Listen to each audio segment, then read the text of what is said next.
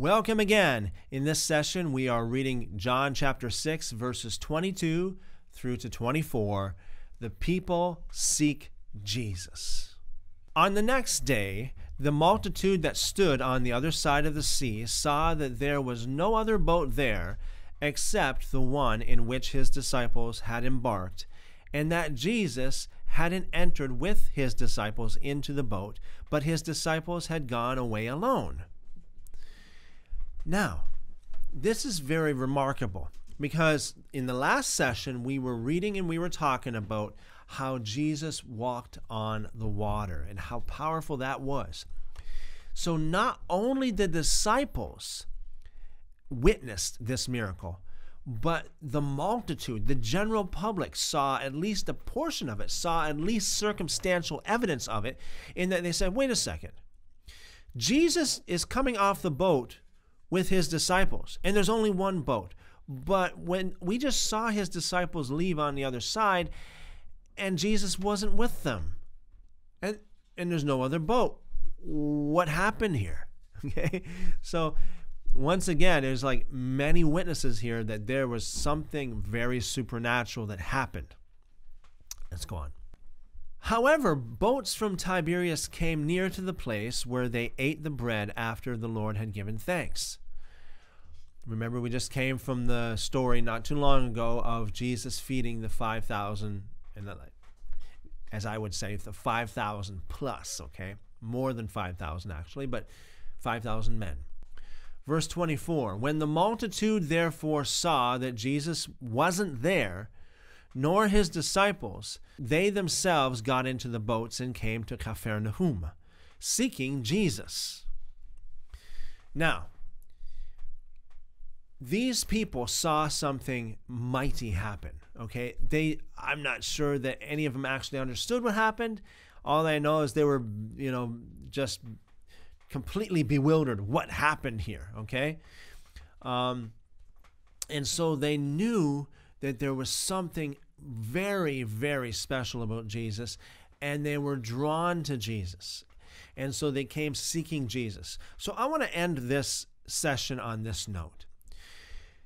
The power of seeking Jesus, the power of seeking God is extraordinary. I was at a, a church meeting years ago, and there was a, a, a guest speaker that was talking about the the hunger or the thirst of some people in in other in other nations and uh, they were talking about how people would more or less almost trample people just to get to where they believed was where the power of God was or where the anointing was or you know where they could be touched by God.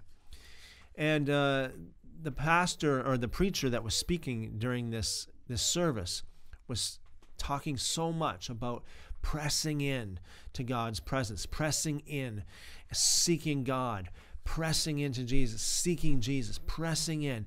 And it, it, as he was going on in his sermon, the atmosphere was just charged. As the sermon went on, I, I got more and more on the edge of my seat, okay? And all of a sudden, like it was it was just so uh, powerful all of a sudden I, I felt like just jumping up and running forward. And uh, and just as I I was about to do that, I saw a few other people do that. So I jumped up and I ran forward. And I noticed as I was running forward, uh, you know, uh, hundreds of other people actually did the same thing. And so uh, I had a wonderful, wonderful, wonderful experience with God. One of the most powerful experiences with God I've ever had in my life. And so it's very, very important to have a hunger for God, to have a hunger for Jesus, to have a hunger for the scriptures, to have a hunger for truth, to have a hunger to read and understand the scriptures that God gave us. Okay? It's very, very, very important. That is the motivating factor. That is the life behind your walk with God. Make sure you have it. Once again, thanks again for listening, and God bless you as you seek Him with all your heart. That, that's a big statement, by the way. Seek Him. Seek Him with all your heart. That means more than just wishing, like throwing a penny in a wishing well or something like that. That is very intense. Seeking God with all your heart. If you seek Him with all your heart, you will find Him. Thanks again, and God bless you.